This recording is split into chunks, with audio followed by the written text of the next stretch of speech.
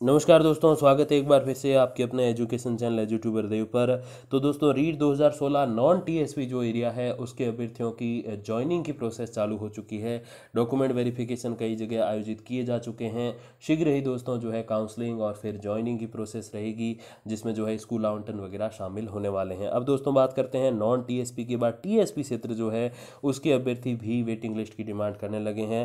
Rajasthan high court यानी कि राजस्थान उच्च न्यायालय ने रीट भर्ती दो हज़ार सोलह में टीएसपी क्षेत्र में विज्ञान, गणित विषय के अभ्यर्थी की ओर से रिक्त पदों को वेटिंग लिस्ट यानी कि प्रतीक्षा सूची के माध्यम से भरने संबंधी याचिका को स्वीकार करते हुए निदेशालय प्रारंभिक शिक्षा को प्रतीक्षा सूची जारी करने का आदेश दिया है।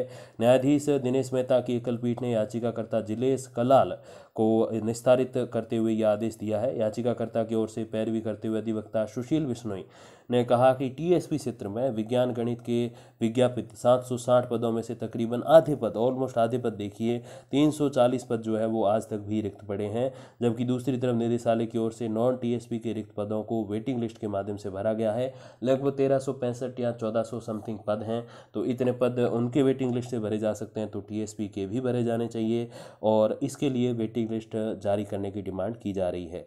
अब देखिए, जो है, कोर्ट ने प्रकरण को नॉन टीएसपी मामले में उर्मिला देवी और अन्य के संबंध में पारित निर्णय से कवर मानते हुए टीएसपी के विज्ञान गणित विषय में रिक्त पदों की भी प्रतीक्षा सूची से भरने का आदेश दिया है। तो अब इस पर भी जल्द ही आपके लगभग, जो है, तीन सौ चालीस, साढ़े तीन सौ, सवा तीन सौ पदों की वेटिंग लिस्ट आ सकती है, क्योंकि माननीय उच्च न्यायालय के आदेशों के पश्चात ही उधर वेटिंग लिस्ट आई थी। तो यहाँ भी आप समझिए कि अब इन्हीं के लगभग ये आदेश ही हैं, क्योंकि खाली पद हैं और हमेशा ऐसे मामलों में अभ्यर्थियों के पक्ष में ही निर्णय देते हैं माननीय उच्च न्यायालय। तो आप समझ सकते हैं कि जल्द ही साढ़े तीन सौ पदों पर या यूँ कहें सवा तीन सौ, लगभग थोड़ा सा पाँच दस का आंकड़े का अंतर आप मान सकते हैं। तो इनके साथ जो है जल्द ही वेटिंग लिस्ट आ सकती है। बाकी दोस्तों, जो भी अपडेट आएगी रीड 2016 या 18 से संबंधित तो मैं आप तक पहुँचा दूँगा वीडियोज़ और कम्युनिटी पोस्ट के माध्यम से। तब तक के लिए दोस्तों, धन्यवाद, नमस्कार।